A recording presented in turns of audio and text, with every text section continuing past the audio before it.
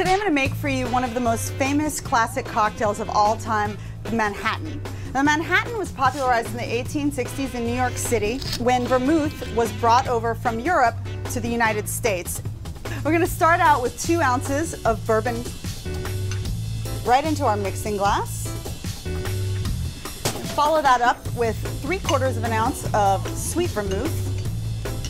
You want to make sure to refrigerate this at home because it will go bad and then just to tie everything together, two dashes of Angostura bitters. Now we are ready to stir up our Manhattan. Now as a rule, any cocktail that is just spirits, you want to stir. You got to get the perfect amount of dilution. The water is one of the most important ingredients in a cocktail like this. All right, I think we're there. So now we're ready to strain our drink.